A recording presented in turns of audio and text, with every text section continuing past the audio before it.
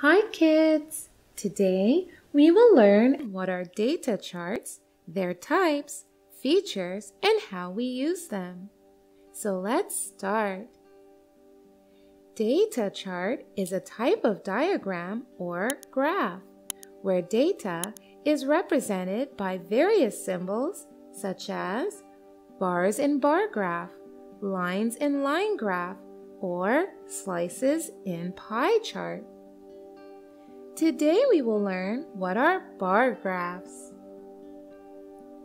A bar chart is a chart with rectangular bars, where the length of bars represent the value of something.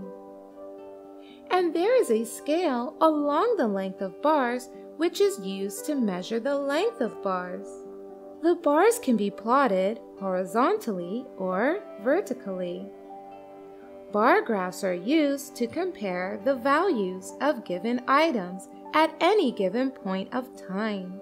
Let's learn more about bar graphs using some examples. Here we have some data. A farmer sold different quantities of fruits in a particular month, and he recorded the sales like this. Now we will store this data in the form of a bar graph. First of all, determine what will be the title of our bar graph.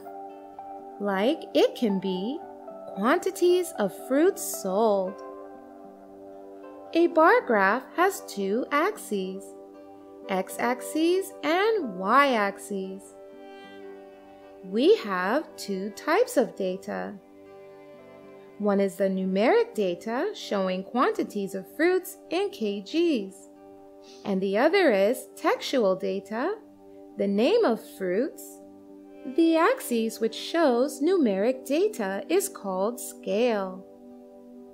As on the y-axis, we are showing the numeric data, and our numeric data is in the range of 1 to 40. So, make a scale showing numbers 1 to 40.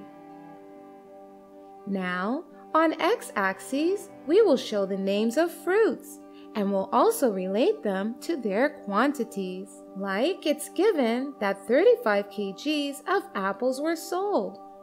So make a rectangular bar up to the mark of 35 and label it with apples. Now next fruit is orange. Quantity of oranges sold is 30 kgs. So make a rectangular bar up to the mark of 30 and label it with oranges. Now, next fruit is banana. Quantity of bananas sold is 10 kgs. So make a rectangular bar up to the mark of 10 and label it with banana. Now, the next fruit is kiwi. The quantity sold is 25 kgs. So make a rectangular bar up to the mark of 25 and label it with kiwi. Now next fruit is blueberry. Its quantity sold is 40 kgs. So make a rectangular bar up to the mark of 40 and label it with blueberry.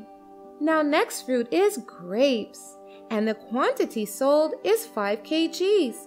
So make a rectangular bar up to the mark of 5 and label it with grapes.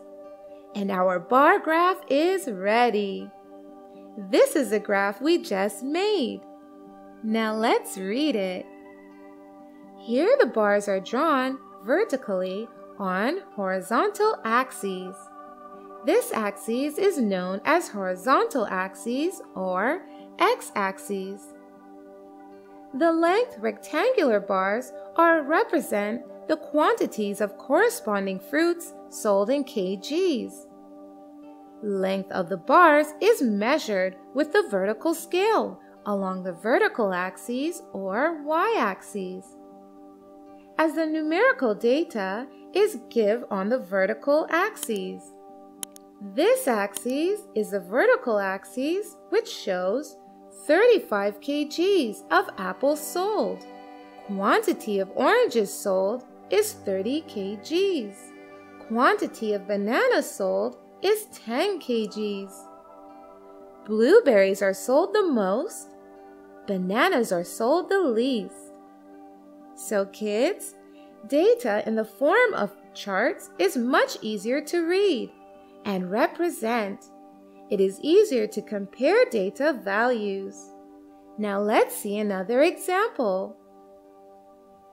We are given with another data from a class of students. Favorite game of each student was asked and noted down like this. Five students like hockey the most. That is the favorite game of five students is hockey. Favorite game of one student is tennis favorite game of nine students, football, and so on.